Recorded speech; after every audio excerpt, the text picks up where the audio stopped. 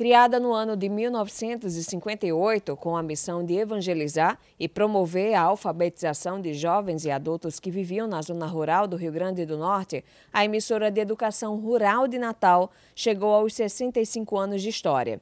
História essa que foi reconhecida e homenageada pela Assembleia Legislativa nesta segunda-feira, por uma proposição da deputada Terezinha Maia. A Rádio Rural ela tem tido um papel fundamental né, de desenvolvimento na área educacional, cultural e social do nosso povo potiguar.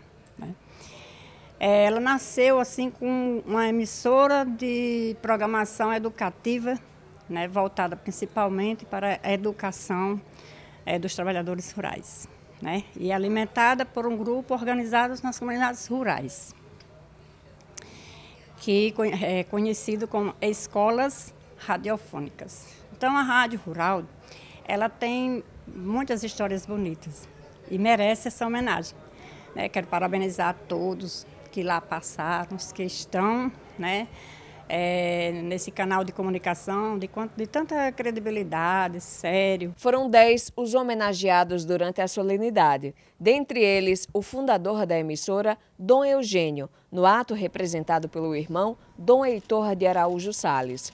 Pioneira no Rio Grande do Norte na alfabetização à distância, a Rádio Rural passou por várias transições ao longo do tempo e ganhou força a partir da criação da Pastoral da Comunicação da Arquidiocese, como explica o radialista Francisco Moraes, homenageado na solenidade. Quando chega nos anos de 1996, Dom Heitor, é, que já estava no governo arquidiocesano, né?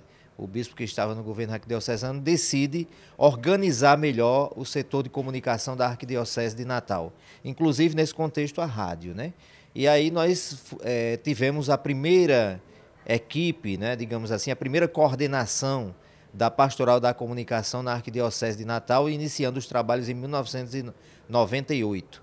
E nesse contexto entra a rádio com uma, re, é, uma redefinição da sua linha editorial, que permanecia evangelizadora, mas com algumas nuances mais abertas, não só com a programação religiosa, mas inserindo a cultura também. Né, o, o, o esporte também. O ano de 2018 também marcou a história da Rádio Rural, que migrou das zonas da faixa AM para a FM conquista da arquidiocese à época comandada por Dom Jaime Vieira Rocha, também homenageado na solenidade. Eu participei intensamente porque se constituía um passo que todas as rádios AM deveriam dar em vista da configuração, vamos dizer assim, da radiodifusão no país, que iria é, quase que na sua totalidade dá preferência à, à, FM, né?